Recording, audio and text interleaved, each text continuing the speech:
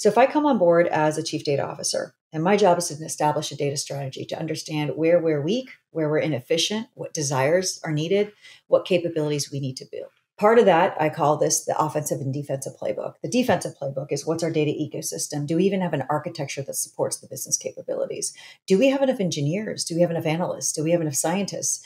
Do we have a semantic layer that enables self service analytics? What's our orchestration observability? Do we even have a catalog? So even if we put all this effort, people know where to, to go to with the data. But then a lot of it is around performance and making information available. Okay, well, how do I make it available? If I don't own the systems, the applications, the platforms, the warehouses, the lake environments, I cannot guarantee the orchestration, the observability, the cataloging, the quality, and the way in which data is accessible everything I need as a foundation completely crumbles if I don't have ownership.